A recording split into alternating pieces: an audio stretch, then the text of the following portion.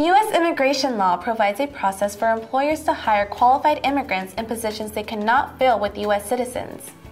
Formerly known as labor certification, the PERM process enables workers in a wide variety of occupations to apply for green cards. This is a much more technical process than that required for EB1 and EB2 visas, where presenting the immigrating person's story and qualifications are typically the most important elements. Here are a few things an employer must do. Draft an acceptable job description with an acceptable job title. Define necessary experience and other requirements for a given position. Advertise positions appropriately in publications and with state agencies. And finally, interview American applicants. You will need someone to handle the complex requirements of online filing to satisfy current PERM labor certification requirements.